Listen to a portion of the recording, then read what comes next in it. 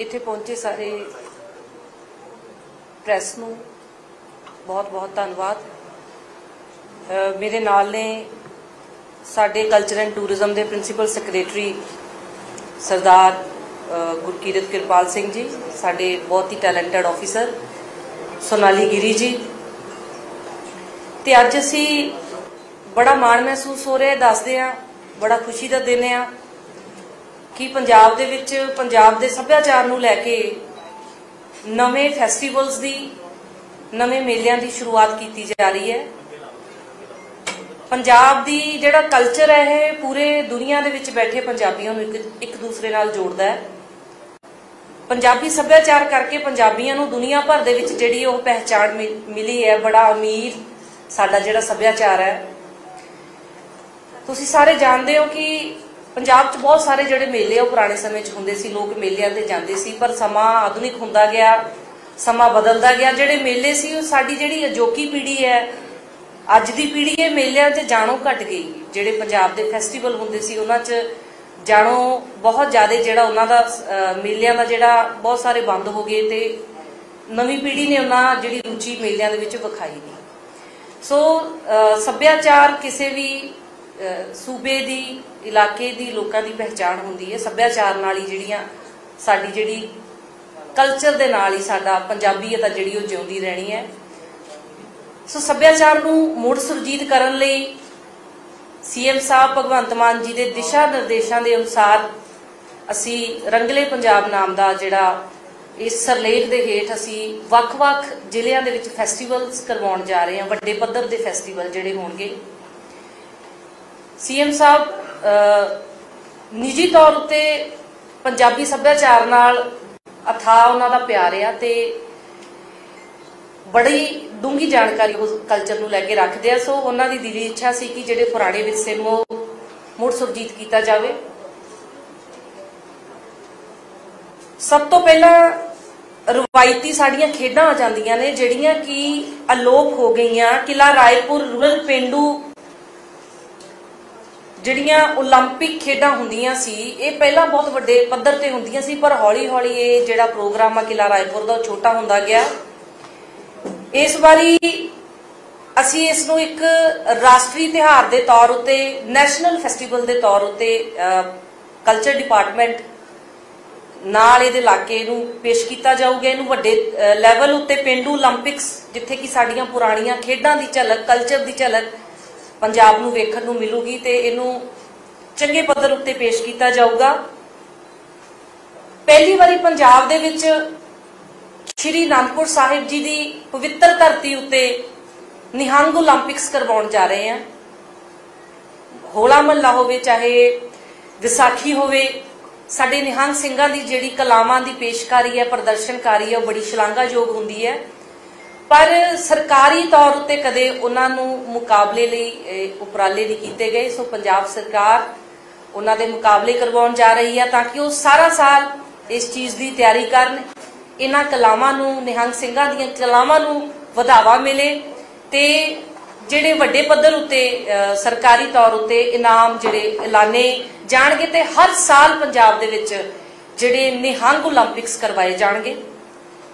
ਉਸ ਤੋਂ ਬਾਅਦ ਮੈਨੂੰ ਬੜਾ ਮਾਣ ਮਹਿਸੂਸ ਹੋ ਰਿਹਾ ਕਿ ਅਸੀਂ ਤਰਨਤਾਰਨ ਦੇ ਵਿੱਚ ਦਾਰਾ ਸਿੰਘ ਛਿੰਝ 올림픽 ਕਰਵਾਵਾਂਗੇ ਜਿਹਦੇ 'ਚ ਜੇਤੂ ਨੂੰ ਰੁਸਤਮੇ ਹਿੰਦ ਦੇ ਖਿਤਾਬ ਦੇ ਨਾਲ ਨਵਾਜ਼ਿਆ ਜਾਊਗਾ ਇਹ ਵੀ ਪਹਿਲੀ ਵਾਰ ਹੋਣਾ ਤੇ ਜੇਤੂ ਨੂੰ 10 ਲੱਖ ਰੁਪਏ ਦੇ ਇਸ ਦਾਰਾ ਸਿੰਘ ਛਿੰਝ 올림픽 ਦੇ ਵਿੱਚ 10 ਲੱਖ ਦਾ ਇਨਾਮ ਆ ਜਿਹੜਾ ਉਹ ਦਿੱਤਾ ਜਾਊਗਾ ਸੋ ਜਲੰਧਰ ਦੇ ਵਿੱਚ ਅਸੀਂ ਪਹਿਲੀ ਵਾਰ ਘੋੜ ਚੈਂਪੀਅਨਸ਼ਿਪ ਘੋੜ ਸਵਾਰ ਚੈਂਪੀਅਨਸ਼ਿਪ ਆ ਜਿਹੜੀ ਉਹ ਸ਼ੁਰੂ ਕਰਾਂਗੇ। ਪੰਜਾਬ ਸਰਕਾਰ ਦੁਆਰਾ ਇਹਨਾਂ ਨੂੰ ਇਹ ਫੈਸਟੀਵਲ ਘੋੜ ਸਵਾਰਾਂ ਦਾ ਕੀਤਾ ਜਾਊਗਾ। ਜਲੰਧਰ ਜ਼ਿਲ੍ਹੇ ਦੇ ਵਿੱਚ ਤੇ ਪੰਜਾਬ ਸਰਕਾਰ ਵੱਲੋਂ ਉਹਨਾਂ ਨੂੰ ਜਿਹੜੇ ਇਨਾਮ ਵੀ ਦਿੱਤੇ ਜਾਣਗੇ, ਜਿਹਦੇ ਨਾਲ ਕਿ ਸਾਡੀ ਜਿਹੜੀ ਘੋੜ ਸਵਾਰੀ ਦੇ ਸ਼ੌਕੀਨ ਲੋਕ ਨੇ ਤੇ ਪੰਜਾਬੀਆਂ ਨੂੰ ਸ਼ੌਕ ਉਸ ਨੂੰ ਪ੍ਰੋਤਸਾਹਨ ਮਿਲ ਸਕੇ। ਅਗਲਾ ਆ ਜਾਂਦਾ ਜੀ, ਖੇਡਾਂ ਤੋਂ ਬਾਅਦ ਪਿੰਡੂ ਕਲਾ ਅਤੇ ਦਸਤਕਾਰੀ ਹੈਂਡੀਕ੍ਰਾਫਟ ਤੁਸੀਂ ਸਾਰੇ ਸੁਣ ਰਹੇ ਪੰਜਾਬੀ ਸਹਿਮਤ ਹੋਣਗੇ ਕਿ ਬਹੁਤ ਸਾਰੀਆਂ ਸਾਡੀਆਂ ਪੁਰਾਣੀਆਂ ਹੈਂਡੀਕ੍ਰਾਫਟ ਦੀਆਂ ਚੀਜ਼ਾਂ ਸੀਗੀਆਂ, ਜਿਵੇਂ ਹੁਸ਼ਿਆਰਪੁਰ ਦੀ ਜਿਹੜੀ ਲੱਕੜ ਉੱਤੇ ਪੇਂਟਿੰਗ ਕੀਤੀ ਜਾਂਦੀ ਹੈ, ਸਾਡੀ ਫੁਲਕਾਰੀ ਹੱਥ ਨਾਲ ਕੱਢੀ ਜਾਂਦੀ ਹੈ, ਸਾਡੀਆਂ ਜੁੱਤੀਆਂ ਜਿਹੜੀਆਂ ਹੱਥ ਨਾਲ ਬਣਾਈਆਂ ਜਾਂਦੀਆਂ, ਜਿਹੜੀਆਂ ਵਿਸ਼ਵ ਪੱਧਰ ਉੱਤੇ ਪੰਜਾਬੀ ਸੱਭਿਆਚਾਰ ਦੀ ਪਹਿਚਾਣ ਬਣਦੀ ਹੈ, ਸਾਡੀ ਇਹ ਆਪਣੀ ਜਿਹੜੀ ਕਲਾ ਹੈ, ਫੁਲਕਾਰੀ ਦੀ। ਸੋ, ਫਾਜ਼ਿਲਕਾ ਵਿੱਚ ਸਭ ਤੋਂ ਵੱਡਾ ਜਿਹੜਾ ਪੰਜਾਬ ਦਾ ਹੈਂਡੀਕ੍ਰਾਫਟ ਫੈਸਟੀਵਲ ਆਯੋਜਿਤ ਕੀਤਾ ਜਾਊਗਾ। ਜਿੱਥੇ ਕਿ ਪੂਰੇ ਪੰਜਾਬ ਦੇ ਵਿੱਚੋਂ ਹੈਂਡੀਕ੍ਰਾਫਟ ਕਰਨ ਵਾਲੇ ਵੱਖ-ਵੱਖ ਜਿਹੜੇ ਆਰਟਿਸਟ ਨੇ, ਗਰੁੱਪ ਨੇ, ਉਹ ਆਪਣੀ ਪੇਸ਼ਕਾਰੀ ਕਰਨਗੇ। ਇਹਦੇ ਵਿੱਚ ਅਸੀਂ ਪਟਿਆਲਾ ਹੈਰੀਟੇਜ ਫੈਸਟੀਵਲ ਕਪੂਰਥਲਾ ਹੈਰੀ- ਕਪੂਰਥਲਾ ਹੈਰੀਟੇਜ ਫੈਸਟੀਵਲ ਦੌਰਾਨ ਵੀ ਜਿਹੜਾ ਇਹ ਹੈਂਡੀਕ੍ਰਾਫਟ ਦੇ ਪ੍ਰਚਾਰ ਨੂੰ ਪੂਰਾ ਵਧਾਵਾ ਦੇਵਾਂਗੇ। ਤੇ ਪੰਜਾਬ ਦਾ ਹੱਥਾਂ ਨਾਲ ਬੜੀਆਂ ਹੋਈਆਂ ਚੀਜ਼ਾਂ ਲਈ ਪੰਜਾਬ ਜਾਣਿਆ ਜਾਂਦਾ ਜੀ। ਇਸ ਤੋਂ ਬਾਅਦ ਐਡਵੈਂਚਰ ਦੇ ਲਈ adventure and water tourism policy Punjab ਵੱਲੋਂ ਪੰਜਾਬ ਸਰਕਾਰ ਵੱਲੋਂ ਪਿਛਲੇ ਇਨਵੈਸਟਰ ਟੂਰਿਜ਼ਮ ਸਬਮਿਟ ਦੇ ਵਿੱਚ ਜਿਹੜੀ ਲਾਂਚ ਕੀਤੀ ਗਈ ਸੀ। ਰੋਪੜ ਅਤੇ ਪਠਾਨਕੋਟ ਦੇ ਵਿੱਚ ਪਹਿਲੀ ਵਾਰੀ ਸਾਲਾਨਾ ਐਡਵੈਂਚਰ ਸਪੋਰਟਸ ਫੈਸਟੀਵਲ ਸ਼ੁਰੂ ਕੀਤਾ ਜਾਊਗਾ। ਸਾਲਾਨਾ ਐਡਵੈਂਚਰ ਸਪੋਰਟਸ ਫੈਸਟੀਵਲ ਜਿੱਥੇ ਕਿ ਸਪੋਰਟਸ ਜਿਹੜੀਆਂ ਗੇਮਸ ਨੇ ਐਡਵੈਂਚਰ ਸਪੋਰਟਸ ਨੂੰ ਵਧਾਵਾ ਦਿੱਤਾ ਜਾਊਗਾ। ਪੂਰੇ ਭਾਰਤ ਚੋਂ, ਦੇਸ਼ਾਂ ਵਿਦੇਸ਼ਾਂ ਦੇ ਵਿੱਚੋਂ ਇਸ ਸਪੋਰਟਸ ਫੈਸਟੀਵਲ ਨੂੰ ਵਧਾਵਾ ਦੇ ਲਈ ਵੱਖ-ਵੱਖ ਲੋਕਾਂ ਨੂੰ ਸੱਦਾ ਦਿੱਤਾ ਜਾਊਗਾ ਤਾਂ ਕਿ ਪੰਜਾਬ ਦੇ ਵਿੱਚ ਜਿਹੜੀ ਪੋਟੈਂਸ਼ੀਅਲ ਆ ਦਰਿਆਵਾਂ ਦੀ, ਜੰਗਲਾਂ ਦੀ, ਉਹ ਪੂਰੀ ਦੁਨੀਆ ਨੂੰ ਵਿਖਾਈ ਜਾ ਸਕੇ। ਇਸ ਤੋਂ ਬਾਅਦ ਆ ਜਾਂਦਾ ਜੀ ਸੰਗੀਤ, ਮਲੇਰਕੋਟਲਾ ਦੇ ਵਿੱਚ ਅਸੀਂ ਸੂਫੀ ਉਤਸਵ ਪਹਿਲੀ ਵਾਰ ਸ਼ੁਰੂ ਕਰਨ ਜਾ ਰਹੇ ਹਾਂ।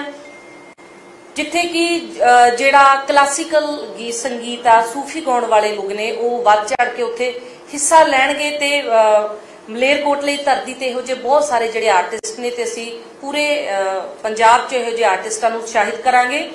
ਤੇ ਜਲੰਧਰ ਵਿੱਚ ਜਿਹੜਾ ਪਹਿਲਾਂ ਹੀ ਰਾਜ ਸਰਕਾਰ ਵੱਲੋਂ ਹਰਬੱਲਭ ਸੰਗੀਤ ਸੰਮੇਲਨ ਹੈ ਉਹਨੂੰ ਹੋਰ ਉਤਸ਼ਾਹਿਤ ਕਰਨ ਲਈ ਜਿਹੜੀ ਸਰਕਾਰ ਹੈ ਕਲਚਰ ਵਿਭਾਗ ਹੈ ਉਹ ਵੱਧ ਚੜ ਕੇ ਉਸ ਵਿੱਚ ਆਪਣਾ ਯੋਗਦਾਨ ਪਾਊਗਾ। ਸੰਗੀਤ ਜਗਤ ਲਈ ਬੜਾ ਮਾਣ ਮਹਿਸੂਸ ਹੋ ਰਿਹਾ ਮੈਨੂੰ ਇਹ ਦੱਸਦੇ ਆ ਪਹਿਲੀ ਵਾਰੀ ਪੰਜਾਬ ਦੇ ਵਿੱਚ ਸਾਡੀ ਜਿਹੜੀ 뮤직 ਇੰਡਸਟਰੀ ਹੈ ਇਹ ਇੰਡੀਆ ਦੀ ਸਭ ਤੋਂ ਵੱਡੀ 뮤직 ਇੰਡਸਟਰੀ ਹੈ ਫਿਲਮ ਇੰਡਸਟਰੀ ਸਾਡੀ ਪਹਿਲਾਂ ਨਾਲੋਂ ਗਰੋ ਕਰ ਰਹੀ ਹੈ ਤੇ ਬਹੁਤ ਜ਼ਿਆਦਾ ਸੰਭਾਵਨਾਵਾਂ ਨੇ ਇਹਦਾ ਅਹ ਪੂਰਾ ਜਿੰਨਾ 뮤직 ਇੰਡਸਟਰੀ ਨੂੰ ਕਲਾਕਾਰਾਂ ਨੂੰ ਐਕਟਰਸ ਨੂੰ ਮਾਨ ਸਨਮਾਨ ਦੇਣ ਲਈ ਪੰਜਾਬ ਸਰਕਾਰ ਪਹਿਲੀ ਵਾਰੀ film and 뮤직 festival awards Punjab ਵਿੱਚ ਕਰਵਾਉਣ ਜਾ ਰਹੀ ਹੈ, ਜਿਹੜਾ ਕਿ ਹਰ ਸਾਲ ਹੋਣਗੇ, ਜਿੱਥੇ ਪੰਜਾਬ ਦੇ ਕਲਾਕਾਰਾਂ ਨੂੰ ਆਰਟਿਸਟਾਂ ਨੂੰ ਐਕਟਰਸ ਨੂੰ ਪੰਜਾਬ ਸਰਕਾਰ ਦੁਆਰਾ ਜਿਹੜੇ ਉਹਨਾਂ ਦੇ ਹੁਨਰ ਨੂੰ ਲੈ ਕੇ ਸਨਮਾਨਿਤ ਕੀਤਾ ਜਾਊਗਾ ਅਵਾਰਡਸ ਦਿੱਤੇ ਜਾਣਗੇ ਫੈਸਟੀਵਲ ਕਰਵਾਇਆ ਜਾਊਗਾ। ਸੋ ਮੈਂ ਪੂਰੇ ਸੰਗੀਤ ਜਗਤ ਨਾਲ ਜੁੜੀਆਂ ਹਸਤੀਆਂ ਨੂੰ, ਜਿਹੜੇ ਬੱਚੇ ਨਵੇਂ ਆਉਣ ਵਾਲੇ ਨੇ, ਉਹਨਾਂ ਨੂੰ ਉਤਸ਼ਾਹਿਤ ਕਰਨ ਲਈ ਤੇ ਕਿਉਂਕਿ ਕਲਾਕਾਰਾਂ ਨੇ ਐਕਟਰਸ ਨੇ ਸਾਡੀ ਪੰਜਾਬੀ ਜ਼ੁਬਾਨ ਦਾ, ਪੰਜਾਬੀ ਗਾਇਕੀ ਦੇ ਨਾਲ ਸਾਡੇ ਸੱਭਿਆਚਾਰ ਨੂੰ ਪੂਰੀ ਦੁਨੀਆ ਦੇ ਵਿੱਚ ਲੈ ਕੇ ਗਏ ਨੇ। ਸੋ ਮੈਂ ਸਾਰੇ ਆਰਟਿਸਟ ਵਰਗ ਨੂੰ ਬਹੁਤ ਸਾਰੀਆਂ ਇਸ ਲਈ ਮੁਬਾਰਕਾਂ ਦਿੰਦੀ ਹਾਂ। ਇਸ ਤੋਂ ਬਾਅਦ ਜਿਹੜੇ ਰਵਾਇਤੀ ਤਿਉਹਾਰ ਨੇ ਸਾਡੇ ਮਾਗੀ ਵਿਸਾਖੀ, ਹੋਲਾ ਮਹੱਲਾ, ਇਹ ਪਹਿਲਾਂ ਤੋਂ ਹੀ ਮਨਾਏ ਜਾ ਰਹੇ ਆ। ਇਹਨਾਂ ਨੂੰ ਅਸੀਂ ਹੋਰ ਵੱਡੇ ਲੈਵਲ ਉੱਤੇ, ਜਿਹੜੇ ਵੱਡੇ ਪੱਧਰ ਉੱਤੇ ਜਿਹੜਾ ਤਾਂ ਕਿ ਸਾਰਾ ਜਿਹੜਾ ਦੇਸ਼ ਇਸ ਚੀਜ਼ ਨੂੰ ਦੇਖੇ ਕਿ ਕਿਸ ਤਰੀਕੇ ਜਿਹੜੇ ਪੰਜਾਬੀ ਇਹਨਾਂ ਤਿਉਹਾਰਾਂ ਨੂੰ ਮਨਾਉਂਦੇ ਆ, ਪੰਜਾਬ ਸਰਕਾਰ ਸਪੋਰਟ ਕਰੂਗੀ। ਪਹਿਲੀ ਵਾਰੀ ਸੰਗਰੂਰ ਵਿੱਚ ਤੀਆਂ ਦਾ ਤਿਉਹਾਰ ਬਹੁਤ ਹੀ ਵੱਡੇ ਪੱਧਰ ਤੇ ਮਨਾਇਆ ਜਾਊਗਾ। ਤੁਸੀਂ ਸਾਰੇ ਜਾਣਦੇ ਹੋ ਕਿ ਪਹਿਲਾਂ ਕੁੜੀਆਂ ਆਪਦੇ ਪੇਕੇ ਆਉਂਦੀਆਂ ਹੁੰਦੀਆਂ ਸੀ ਤੀਆਂ ਵੇਲੇ। ਆ ਕੇ ਮਨਾਉਂਦੀਆਂ ਹੁੰਦੀਆਂ ਸੀ। ਸੋ ਸੀਐਮ ਸਾਹਿਬ ਦੇ ਜਿਹੜੇ ਦਿਸ਼ਾ ਨਿਰਦੇਸ਼ਾਂ ਅਨੁਸਾਰ ਇਸ ਕਲਚਰ ਨੂੰ, ਇਸ ਸੱਭਿਆਚਾਰ ਨੂੰ, ਇਸ ਪੰਜਾਬ ਦੇ ਮੀਰ ਵਿਰਸੇ ਨੂੰ, ਪੂਰੇ ਪੰਜਾਬ ਦੀਆਂ ਧੀਆਂ ਨੂੰ ਉਹਨਾਂ ਦੇ ਪੇਕੇ ਸੱਦਿਆ ਜਾਊਗਾ ਤੇ ਇਹ ਤਿਉਹਾਰ ਦੀ ਜਿਹੜੀ ਵੱਡੇ ਤੌਰ ਤੇ ਮਨਾਇਆ ਜਾਊ, ਸੰਗਰੂਰ ਦੇ ਵਿੱਚ ਤੀਆਂ ਦਾ ਤਿਉਹਾਰ ਆ, ਜਿਹੜਾ ਸੀ ਉਹ ਮਨਾਵਾਂਗੇ। ਇਸ ਤੋਂ ਬਾਅਦ ਬਸੰਤ ਦਾ ਤਿਉਹਾਰ, ਪਤੰਗਬਾਜ਼ੀ, ਜਿਹੜੀ ਪੰਜਾਬ ਦੇ ਵਿੱਚ ਬੜੇ ਧੂਮਧਾਮ ਦੇ ਨਾਲ ਸਾ ਤੁਸੀਂ ਜਾਣਦੇ ਹੋ ਕਿ ਜੇ ਉਦੋਂ ਗੀਤ ਸੁਣਨੇ ਹੋ ਤਾਂ ਸਾਨੂੰ ਫਿਰੋਜ਼ਪੁਰ ਜਾਣਾ ਪੈਂਦਾ ਪਤੰਗਬਾਜ਼ੀ ਵੇਖਣ ਲਈ। ਪਹਿਲੀ ਵਾਰੀ ਪੰਜਾਬ ਦੇ ਵਿੱਚ ਸਭ ਤੋਂ ਵੱਡਾ ਪਤੰਗਬਾਜ਼ ਦਾ ਜਿਹੜਾ ਇੱਕ ਵਿਲੱਖਣ ਮੁਕਾਬਲਾ ਕਰਵਾਇਆ ਜਾਊ, ਜਿਹਦੀ ਸਭ ਤੋਂ ਵੱਡੀ ਪਤੰਗ ਉੱਡਣ ਵਾਲੇ ਨੂੰ 5 ਲੱਖ ਰੁਪਏ ਦਾ ਨਾਮ ਦਿੱਤਾ ਜਾਣਾ ਹੈ। ਪੇਚੇ ਮੁਕਾਬਲੇ ਦੇ ਜੇਤੂਆਂ ਨੂੰ, ਜਿਹਦੇ ਪੇਚੇ ਦੇ ਵੀ ਮੁਕਾਬਲੇ ਕਰਵਾਏ ਜਾਣਗੇ 5 ਲੱਖ ਰੁਪਏ ਦਾ ਨਗਦ ਇਨਾਮ ਆ ਜਿਹੜਾ ਐਂਡ ਪੂਰਾ ਵੱਡਾ ਪ੍ਰੋਗਰਾਮ ਜਿਹੜਾ ਸੀ, ਬਸੰਤ ਦਾ ਤਿਉਹਾਰ ਫਿਰੋਜ਼ਪੁਰ ਦੇ ਵਿੱਚ ਸੈਲੀਬ੍ਰੇਟ ਕਰਾਂਗੇ। ਇਸ ਤੋਂ ਬਾਅਦ ਆ ਜਾਂਦਾ ਜੀ, ਪੰਜਾਬ ਦੀ ਜਿਹੜੀ ਕੁਦਰਤੀ ਸੁੰਦਰਤਾ ਹੈ। ਪੰਜਾਬ ਦੇ ਵਿੱਚ ਕਿਸੇ ਚੀਜ਼ ਦੀ ਕਮੀ ਨਹੀਂ ਹੈ, ਚਾਹੇ ਉਹ ਕੁਦਰਤ ਹੈ, ਦਰਿਆ ਨੇ, ਹਰ ਚੀਜ਼ ਪੰਜਾਬ ਦੇ ਵਿੱਚ ਖੂਬਸੂਰਤੀ ਨਾਲ ਪਾਈ ਜਾਂਦੀ ਹੈ। ਸੋ ਅਸੀਂ ਪਹਿਲੀ ਵਾਰੀ ਪੰਜਾਬ ਦੇ ਵਿੱਚ ਨੇਚਰ ਫੈਸਟੀਵਲ ਕਰਵਾਉਣ ਜਾ ਰਹੇ ਹਾਂ। ਹੁਸ਼ਿਆਰਪੁਰ ਦੇ ਵਿੱਚ ਇਹ ਕਰਵਾਇਆ ਜਾਣਾ, ਹੁਸ਼ਿਆਰਪੁਰ ਦੀ ਬਹੁਤ ਸਾਰੀ ਖੂਬਸੂਰਤੀ ਹੈ ਜਿਹੜੀ ਕਿਸੇ ਨੇ ਨਹੀਂ ਐਕਸਪਲੋਰ ਕੀਤੀ। ਉਸ ਚੀਜ਼ ਨੂੰ ਅਸੀਂ ਪੂਰੀ ਦੁਨੀਆ ਨੂੰ ਦਿਖਾਵਾਂਗੇ ਕਿ ਸਾਡਾ ਪੰਜਾਬ ਕਿਸੇ ਵੀ ਚੀਜ਼ ਪੱਖੋਂ ਘੱਟ ਨਹੀਂ ਹੈ ਦੁਨੀਆ ਨੂੰ ਦਿਖਾਵਾਂਗੇ ਤੇ ਇੱਥੇ ਰੌਣਕ ਮੇਲਾ ਕਿਉਂਕਿ ਜਿਸ ਦਿਨ ਪੰਜਾਬ ਦਾ ਟੂਰਿਜ਼ਮ ਵਿਕਸਿਤ ਹੋ ਗਿਆ ਪੂਰੇ ਤਰੀਕੇ ਦੇ ਨਾਲ ਇੱਥੇ ਮਾਹੌਲ ਹੀ ਬਦਲ ਜਾਣਾ ਟੂਰਿਜ਼ਮ ਦੇ ਨਾਲ ਰੌਣਕ ਲੱਗ ਜਾਣੀ ਹੈ ਹਰ ਪੱਖੋਂ ਹਰ ਬੰਦਾ ਇੱਥੇ ਰਹਿਣਾ ਜਿਹੜਾ ਉਹ ਪਸੰਦ ਕਰੂਗਾ। ਸੋ ਅਸੀਂ ਅਹ, ਸਾਲਾਨਾ ਜਿਹੜਾ ਨੇਚਰ ਫੈਸਟੀਵਲ ਉਹ ਹੁਸ਼ਿਆਰਪੁਰ ਵਿੱਚ ਮਨਾਵਾਂਗੇ। ਤੇ ਪਠਾਨਕੋਟ ਦੇ ਵਿੱਚ ਪਹਿਲੀ ਵਾਰੀ ਫੈਸਟੀਵਲ ਆਫ ਰਿਵਰਸ ਪਠਾਨਕੋਟ ਦੇ ਜਿਹੜੇ ਰਿਵਰ ਨੇ, ਦਰਿਆ ਨੇ, ਬਹੁਤ ਹੀ ਜ਼ਿਆਦਾ ਖੂਬਸੂਰਤ ਨੇ। ਉਹਨਾਂ ਨੂੰ ਵਧਾਵਾ ਦੇਣ ਲਈ, ਉੱਥੇ ਟੂਰਿਜ਼ਮ ਨੂੰ ਵਧਾਵਾ ਦੇਣ ਲਈ ਅਸੀਂ ਫੈਸਟੀਵਲ ਆਫ ਰਿਵਰਸ ਆ ਜਿਹੜਾ ਉਹ ਪਠਾਨਕੋਟ ਵਿੱਚ ਸੈਲੀਬ੍ਰੇਟ ਕਰਾਂਗੇ। ਪੰਜਾਬ ਦੀ ਬਹਾਦਰੀ ਨੂੰ ਮੈਨੂੰ ਬੜਾ ਮਾਣ ਮਹਿਸੂਸ ਹੋ ਰਿਹਾ ਜੀ, ਇਹ ਦੱਸਦੇ ਹੋਏ ਪੂਰੇ ਪੰਜਾਬ ਨੂੰ। ਗੁਰਦਾਸਪੁਰ ਵਿੱਚ ਅਸੀਂ ਸਰਦਾਰ ਹਰੀ ਸਿੰਘ ਨਲਵਾ ਜੋਸ਼ ਫੈਸਟੀਵਲ ਹੈ ਜਿਹੜਾ ਉਹ ਸ਼ੁਰੂ ਕਰਨ ਦਾ ਐਲਾਨ ਕਰਦੇ ਆ। ਹਰ ਸਾਲ ਇਹ ਕੀਤਾ ਜਾਊਗਾ, ਜੋ ਕਿ ਪੰਜਾਬੀਆਂ ਦੀ ਬਹਾਦਰੀ ਨੂੰ ਉਜਾਗਰ ਕਰੂਗਾ। ਸਾਡੇ ਪੰਜਾਬ 'ਚ ਜਦੋਂ ਮੁਗਲ, ਅਫਗਾਨ ਆਉਂਦੇ ਸੀ ਤਾਂ ਉਹ ਪੰਜਾਬ 'ਚੋਂ ਲੰਘ ਕੇ ਦੇਸ਼ 'ਚ ਜਾਂਦੇ ਸੀ, ਪਰ ਪੰਜਾਬੀਆਂ ਨੇ ਹਮੇਸ਼ਾ ਉਹਨਾਂ ਦਾ ਡਟ ਕੇ ਸਾਹਮਣਾ ਕੀਤਾ, ਆਉਣ ਲੱਗੇ ਵੀ ਤੇ ਇਥੋਂ ਟੱਪਣ ਲੱਗੇ ਵੀ। ਇਹ ਅਸੀਂ ਉਹਨਾਂ ਦਾ ਕਦੇ ਜ਼ੁਲਮ ਨਹੀਂ ਝੱਲਿਆ। ਹਮੇਸ਼ਾ ਜਿਹੜੇ ਹਮਲਾਵਰ ਦੇ ਨਾਲ ਉਹ ਲੜੇ ਨੇ, ਅਸੀਂ Indian army air force BSF ਦੇ ਨਾਲ ਬੇਨਤੀ ਕਰਕੇ ਟਾਈ ਅਪ ਕਰਕੇ ਉਹਨਾਂ ਦੀ ਜਿਹੜੀ ਪ੍ਰਦਰਸ਼ਨੀ ਹੈ, ਰੱਖਿਆ ਬਲਾਂ ਦੀ ਤਾਕਤ ਦਾ ਪ੍ਰਦਰਸ਼ਨ ਹੈ, ਜਿਹੜਾ ਉਹ ਇਸ ਫੈਸਟੀਵਲ ਉੱਤੇ ਗੁਰਦਾਸਪੁਰ ਵਿੱਚ ਕੀਤਾ ਜਾਊਗਾ ਤਾਂ ਕਿ ਵੱਧ ਤੋਂ ਵੱਧ ਜਿਹੜਾ ਨੌਜਵਾਨਾਂ ਨੂੰ ਉਤਸ਼ਾਹਿਤ ਹੋਣ, ਆਪਣੇ ਇਤਿਹਾਸ ਬਾਰੇ ਜਾਣਨ, ਕਿਸ ਤਰੀਕੇ ਪੰਜਾਬੀ ਪਹਿਲੇ ਦਿਨ ਤੋਂ ਹੀ ਜ਼ੁਲਮ ਅੱਗੇ ਜਿਹੜੇ ਅੜਦੇ ਆਏ ਨੇ ਤੇ ਲੜਦੇ ਆਏ ਨੇ। ਮੈਨੂੰ ਬੜਾ ਮਾਣ ਮਹਿਸੂਸ ਹੋ ਰਿਹਾ, ਇਹ ਦੱਸਦੇ ਹੋਏ ਪੰਜਾਬ ਦੀ ਪਵਿੱਤਰ ਧਰਤੀ ਖਟਕੜ ਕਲਾ ਦੇ ਵਿੱਚ ਪਹਿਲੀ ਵਾਰੀ ਅਸੀਂ ਇਨਕਲਾਬ ਫੈਸਟੀਵਲ ਸ਼ੁਰੂ ਕਰਨ ਜਾ ਰਹੇ ਹਾਂ। ਪੰਜਾਬ ਦਾ, ਪੰਜਾਬ ਸ਼ਹੀਦਾਂ ਦੀ ਧਰਤੀ ਹੈ ਜੀ। ਸਰਦਾਰ ਭਗਤ ਸਿੰਘ ਜੀ ਉਦਮ ਸਿੰਘ ਜੀ, ਕਰਤਾਰ ਸਿੰਘ ਸਰਾਭਾ, ਬਹੁਤ ਸਾਰੇ ਜਿਹੜੇ ਸ਼ਹੀਦ ਨੇ ਦੇਸ਼ ਨੂੰ ਯਾਦ ਕਰਾਉਣ ਲਈ। ਹੀਰੋ ਨੇ ਜਿਹੜੇ ਇਸ ਭਾਰਤ ਦੇਸ਼ ਦੇ, ਸਾਡੇ ਭਾਰਤ ਦੇਸ਼ ਦੇ ਹੀਰੋ ਉਹ ਪੰਜਾਬ ਦੀ ਧਰਤੀ ਤੇ ਪੈਦਾ ਹੋਏ ਨੇ। ਪਹਿਲੀ ਵਾਰੀ ਅਸੀਂ ਇਨਕਲਾਬ ਫੈਸਟੀਵਲ, ਜਿੱਥੇ ਉਹਨਾਂ ਦੀ ਜੀਵਨੀ ਬਾਰੇ ਡਿਟੇਲ ਵਿੱਚ ਦੱਸਿਆ ਜਾਊਗਾ, ਪ੍ਰੋਗਰਾਮ ਕਰਵਾਇਆ ਜਾਊਗਾ ਆਜ਼ਾਦੀ ਘੁਲਾਟੀਆਂ ਦੀ ਯਾਦ ਵਿੱਚ ਤੇ ਪੂਰੇ ਪੰਜਾਬ ਨੂੰ ਉੱਥੇ ਪਾਰਟਿਸਿਪੇਟ ਕਰਨ ਲਈ ਬੱਚਿਆਂ ਨੂੰ, ਨੌਜਵਾਨਾਂ ਨੂੰ ਉਤਸ਼ਾਹਿਤ ਕਰਾਂਗੇ। ਤੇ ਮੈਨੂੰ ਇਹ ਦੱਸਦੇ ਹੋਏ ਵੀ ਬਹੁਤ ਖੁਸ਼ੀ ਹੋ ਰਹੀ ਹੈ ਕਿ ਭਗਤ ਸਿੰਘ ਮਿਊਜ਼ੀਅਮ ਤੋਂ ਲੈ ਕੇ ਭਗਤ ਸਿੰਘ ਜੀ ਦੇ ਘਰ ਤੱਕ ਅਸੀਂ ਕਰੋੜਾਂ ਰੁਪਏ ਦੀ ਲਾਗਤ ਦੇ ਨਾਲ ਹੈਰੀਟੇਜ ਸਟਰੀਟ ਬਣਾ ਰਹੇ ਹਾਂ, ਜਿੱਥੇ ਉਹਨਾਂ ਦੇ ਜੀਵਨ ਬਾਰੇ ਉਹ ਆਪਣੇ ਉਹਨਾਂ ਦੇ ਘਰ ਤੋਂ ਲੈ ਕੇ ਸੈਲਾਨੀ ਮਿਊਜ਼ੀਅਮ ਤੱਕ ਪੂਰੀ ਸਟਰੀਟ ਬਣਾਵਾਂਗੇ, ਜਿੱਥੇ ਉਹਨਾਂ ਦੀ ਜੀਵਨੀ ਬਾਰੇ ਅੰਕਿਤ ਕੀਤਾ ਜਾਊਗਾ, ਜੀਵਨੀ ਬਾਰੇ ਦੱਸਿਆ ਜਾਊਗਾ, ਤਾਂ ਕਿ ਉਹਨਾਂ ਦੇ ਪਿੰਡ ਜਾ ਕੇ ਲੋਕ ਉਹਨਾਂ ਦੇ ਜਜ਼ਬੇ ਨੂੰ, ਉਹਨਾਂ ਦੇ ਦੇਸ਼ ਪ੍ਰਤੀ ਜਨੂਨ ਨੂੰ, ਇਨਸਾਨੀਅਤ ਕਿਸ ਤਰੀਕੇ ਉਹਨਾਂ ਨੇ ਆਪਣੇ ਆਪ ਨੂੰ ਕੁਰਬਾਨ ਕਰ ਦਿੱਤਾ, ਨੌਜਵਾਨ ਉਸ ਚੀਜ਼ ਤੋਂ ਉਤਸ਼ਾਹਿਤ ਹੋਣ। ਮਾਨਸਾ ਦੀ ਧਰਤੀ ਉੱਤੇ ਅਸੀਂ ਟਿੱਬਿਆਂ ਦਾ ਤਿਉਹਾਰ ਕਰਾ ਰਹੇ ਹਾਂ ਜੀ। ਪਿੰਡੂ ਵਿਰਸੇ ਨੂੰ ਝਲਕ ਮਿਲੂਗੀ। ਪੰਜਾਬ ਦੇ ਸੱਭਿਆਚਾਰ ਦੀ ਖੇਤੀ ਕਰਨ ਵਾਲੇ ਲੋਕਾਂ ਦੀ ਉੱਥੇ ਜਿਹੜੀ ਝਲਕ ਅਸੀਂ ਉਸ ਫੈਸਟੀਵਲ ਦੇ ਵਿੱਚ ਮਾਨਸਾ ਦੀਆਂ ਕਲਾਵਾਂ, ਇਹ ਜਿਹੜੇ ਵੀ ਫੈਸਟੀਵਲ ਜਿਸ ਏਰੀਏ 'ਚ ਅਸੀਂ ਕਰਵਾ ਰਹੇ ਹਾਂ, ਉੱਥੋਂ ਦੇ ਸਥਾਨਕ ਸੱਭਿਆਚਾਰ ਨੂੰ ਮੱਦੇਨਜ਼ਰ ਰੱਖਦੇ ਹੋਏ ਆਰਗੇਨਾਈਜ਼ ਕੀਤੇ ਨੇ। Patiala heritage festival Kapurthala heritage festival ਤੇ ਬਾਬਾ ਫਰੀਦ ਆਗਮਨ ਪੁਰਬ ਬਠਿੰਡਾ ਵਿਖੇ ਵਿਰਾਸਤੀ ਜਿਹੜੀ ਮੇਲਿਆਂ ਦੀ ਸਰਪ੍ਰਸਤੀ ਉਹ ਅਸੀਂ ਜਾਰੀ ਰੱਖਾਂਗੇ ਤੇ ਉਹਨਾਂ ਨੂੰ ਹੋਰ ਵਧਾਵਾ ਦੇਵਾਂਗੇ। ਸੋ ਜਿਹੜਾ ਅਸੀਂ ਸਾਰਾ ਪ੍ਰੋਗਰਾਮ ਕਰ ਰਹੇ ਹਾਂ, ਇਹਦਾ ਟਾਈਟਲ ਹੈਗਾ ਰੰਗਲਾ ਪੰਜਾਬ। ਇਹਦੇ ਅਧੀਨ। ਗੁਰੂ ਦੀ ਨਗਰੀ ਸ਼੍ਰੀ ਅੰਮ੍ਰਿਤਸਰ ਸਾਹਿਬ, ਮੈਨੂੰ ਮਾਣ ਮਹਿਸੂਰ ਮਹਿਸੂਸ ਹੋ ਰਿਹਾ, ਦੱਸਦੇ ਹੋਏ ਕਿ ਜਿਹੜਾ ਅਸੀਂ ਉੱਥੇ ਫੈਸਟੀਵਲ ਕਰਵਾ ਰਹੇ ਹਾਂ, ਅੱਜ ਤੱਕ ਦੇ ਇਤਿਹਾਸ ਦਾ ਸਭ ਤੋਂ ਵੱਡਾ ਫੈਸਟੀਵਲ ਰੰਗਲਾ ਪੰਜਾਬ ਫੈਸਟੀਵਲ ਅਸੀਂ ਅੰਮ੍ਰਿਤਸਰ ਸਾਹਿਬ ਵਿਖੇ ਕਰਵਾਵਾਂਗੇ। ਤੇ ਇਸ ਫੈਸਟੀਵਲ ਨੂੰ ਅਸੀਂ ਨੈਸ਼ਨਲ ਫੈਸਟੀਵਲ ਬਣਾਵਾਂਗੇ। ਇਹ ਅਜਿਹਾ ਫੈਸਟੀਵਲ ਹੋਵੇਗਾ ਜਿੱਥੇ ਪੰਜਾਬ ਦੇ ਸੱਭਿਆਚਾਰ ਦੇ ਸਾਰੇ ਪੱਖ ਝਲਕਾਏ ਜਾਣਗੇ। ਦੇਸ਼ਾਂ ਵਿਦੇਸ਼ਾਂ ਵਿੱਚ ਵਸਦੇ ਐਨ ਆਰ ਆਈਆਂ ਨੂੰ ਅਸੀਂ ਵਿਸ਼ੇਸ਼ ਸੱਦਾ ਵੱਖ-ਵੱਖ ਦੇਸ਼ ਵਿਦੇਸ਼ ਦੀਆਂ ਲੋਕਾਂ ਨੂੰ ਇੱਥੇ ਸੱਦਾ ਦਿੱਤਾ ਜਾਊਗਾ। ਇਸ ਫੈਸਟੀਵਲ ਵਿੱਚ ਅਸੀਂ 2 ਹਫ਼ਤਿਆਂ ਲਈ 8 ਜ਼ੋਨਾਂ ਵਿੱਚ ਵੰਡਾਂਗੇ, ਜਿੱਥੇ ਪੰਜਾਬ ਦਾ ਭੋਜਨ, ਸੰਗੀਤ, ਕਲਾ ਹੈਂਡੀਕ੍ਰਾਫਟ, ਸੇਵਾ ਦੀ ਭਾਵਨਾ ਪੰਜਾਬੀਆਂ ਦੀ। ਹਰ ਇੱਕ ਚੀਜ਼ ਨੂੰ ਇਸ ਅੰਮ੍ਰਿਤਸਰ ਸਾਹਿਬ ਵਿੱਚ ਹੋਣ ਵਾਲੇ ਰੰਗਲਾ ਪੰਜਾਬ ਫੈਸਟੀਵਲ ਵਿੱਚ ਅਸੀਂ ਦਿਖਾਵਾਂਗੇ। ਇਸ ਪਵਿੱਤਰ ਧਰਤੀ ਲਈ, ਗੁਰੂ ਦੀ ਨਗਰੀ ਲਈ ਇਹ ਸਾਡਾ ਪੰਜਾਬ ਸਰਕਾਰ ਦਾ ਇੱਕ ਨਿਮਾਣਾ ਜਿਹਾ ਯੋਗਦਾਨ ਹੈ ਜੀ।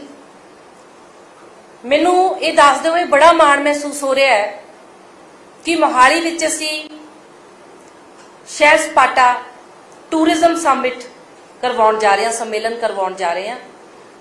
ਜਿਵੇਂ ਸਾਰਿਆਂ ਨੂੰ ਪਤਾ ਕਿ ਪਿੱਛੇ ਜੇ ਇਨਵੈਸਟ ਪੰਜਾਬ ਦਾ ਜਿਹੜਾ ਇਨਵੈਸਟਰ ਸਮਿਟ ਹੋਇਆ ਸੀ, ਉਹਦੇ ਵਿੱਚ ਮੁੱਖ ਮੰਤਰੀ ਸਾਹਿਬ ਨੇ ਇਹ ਕਿਹਾ ਸੀਗਾ ਕਿ ਕੁਆਟਰਲੀ ਅਸੀਂ ਜਿਹੜੇ ਸਮਿਟ ਕਰਾਂਗੇ, ਵੱਖ-ਵੱਖ ਜਿਹੜੇ ਸੈਕਟਰਸ ਦੇ ਵਿੱਚ। ਸੋ ਉਹ ਕੁਆਟਰਲੀ ਸਮਿਟ ਜਿਹੜਾ ਪਹਿਲਾ ਸਮਿਟ ਹੋ ਰਿਹਾ ਹੈ, ਉਹ ਟੂਰਿਜ਼ਮ ਤੇ ਹੋ ਰਿਹਾ ਹੈ। ਸਤੰਬਰ ਦੇ ਵਿੱਚ ਇਹ ਜਿਹੜਾ ਸਮਿਟ ਕਰਵਾਇਆ ਜਾਊਗਾ। ਦੇਸ਼ ਭਰ ਦੇ ਦੇਸ਼ਾਂ ਤੋਂ, ਵਿਦੇਸ਼ਾਂ ਤੋਂ ਨਿਵੇਸ਼ਕਾਂ ਨੂੰ ਇਸ ਟੂਰਿਜ਼ਮ ਸਮਿਟ ਦੇ ਵਿੱਚ ਹਿੱਸਾ ਲੈਣ ਲਈ ਪੰਜਾਬ ਵਿੱਚ ਟੂਰਿਜ਼ਮ ਦੀ ਪੋਟੈਂਸ਼ੀਅਲ ਕੀ ਹੈ ਇਸ ਚੀਜ਼ ਨੂੰ ਦਿਖਾਉਣ ਦੇ ਲਈ ਜਿਹੜੇ ਟੂਰ ਆਪਰੇਟਰ ਦੇ ਨੁਮਾਇੰਦਿਆਂ ਨੂੰ ਇੱਕੋ ਪਲੇਟਫਾਰਮ ਉੱਤੇ ਅਸੀਂ ਲੈ ਕੇ ਆਵਾਂਗੇ, ਉਹਨਾਂ ਨੂੰ ਸੱਦਾ ਦੇਵਾਂਗੇ। ਟੂਰ ਆਪਰੇਟਰਾਂ ਨੂੰ ਜਿਹੜੀਆਂ ਪੰਜਾਬ ਦੀਆਂ ਸੋਹਣੀਆਂ ਥਾਵਾਂ ਨੇ, ਸੁੰਦਰ ਥਾਵਾਂ ਨੇ, ਉਹਨਾਂ ਦੀਆਂ ਅਸੀਂ ਉਹਨਾਂ ਉੱਤੇ ਲੈ ਕੇ ਜਾਵਾਂਗੇ ਤਾਂ ਕਿ ਉਹ ਪੈਕੇਜ ਬਣਾ ਸਕਣ ਕਿ ਪੰਜਾਬ ਵਿੱਚ ਆ ਕੇ ਸੈਲਾਨੀ ਕੀ ਕੀ ਜਿਹੜੇ ਦੇਸ਼ ਵਿਦੇਸ਼ ਵਿੱਚ ਵਸਦੇ ਸੈਲਾਨੀ ਨੇ ਉਹ ਕੀ ਕੀ ਇੱਥੇ ਆ ਕੇ ਦੇਖ ਸਕਦੇ ਨੇ। ਤੇ ਪੰਜਾਬ ਵਿੱਚ ਵੱਖ-ਵੱਖ ਤਰ੍ਹਾਂ ਦੇ ਸੈਲਾਨੀਆਂ ਨੂੰ ਆਕਰਸ਼ਿਤ ਕਰਨ ਲਈ ਇੱਕ ਬਹੁਤ ਹੀ ਵੱਡਾ ਇਹਨੂੰ ਸ਼ਬਦਾਂ ਦੇ ਵਿੱਚ ਹਲੇ ਅਸੀਂ ਸ਼ਾਰਟ ਕਰਕੇ ਦੱਸ ਰਹੇ ਹਾਂ, ਪਰ ਜਿਹੜਾ ਇਹ ਅਸੀਂ ਟੂਰਿਜ਼ਮ ਸਮਿਟ ਕਰਵਾ ਰਹੇ ਹਾਂ, ਇਹ ਬੜੇ ਵੱਡੇ ਪੱਧਰ ਉੱਤੇ ਤੇ ਬੜਾ ਖੂਬਸੂਰਤ ਤਰੀਕੇ ਦੇ ਨਾਲ ਇਹ ਸਮਿਟ ਕਰਵਾਇਆ ਜਾਊਗਾ। ਪਹਿਲੀ ਵਾਰੀ ਪੰਜਾਬ ਦੇ ਵਿੱਚ ਵੈਲਨੈਸ ਟੂਰਿਜ਼ਮ ਨੂੰ ਲੈ ਕੇ ਨਵੀਂ ਪਾਲਿਸੀ ਅਸੀਂ ਲੈ ਕੇ ਆ ਰਹੇ ਹਾਂ।